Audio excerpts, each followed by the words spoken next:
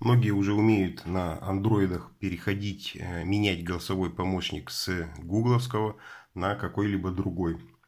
Но вот на Xiaomi немножко все по-другому. Заходим в настройки. Приложения. Все приложения. Нажимаем три звездочки. Приложение по умолчанию.